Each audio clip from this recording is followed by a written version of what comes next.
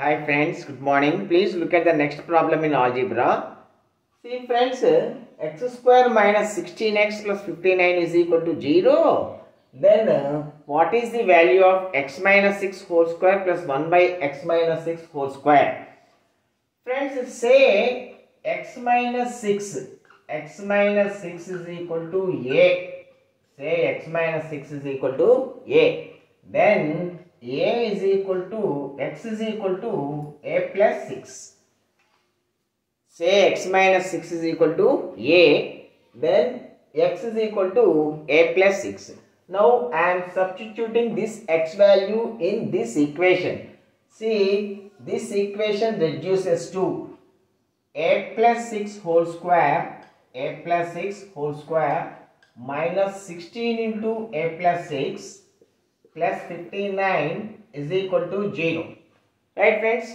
See this is a square plus 12a plus 36 minus 16a minus 96 plus 59 is equal to 0.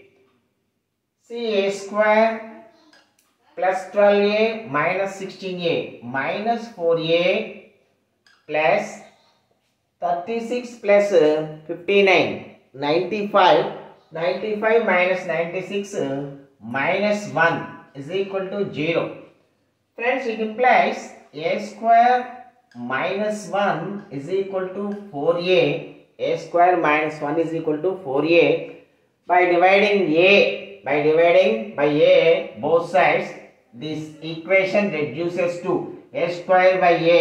A minus 1 by a is equal to 4. a minus 1 by a is equal to 4.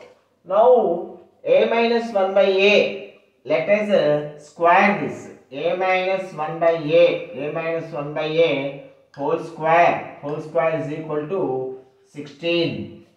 a minus 1 by a whole square is equal to a square plus 1 by a square minus uh, 2 2 into a into 1 by a. Minus 2 is equal to 16 so a square plus 1 by a square is equal to 16 plus 2 18 that is what we want. That is what we want. A square plus 1 by a square value we want.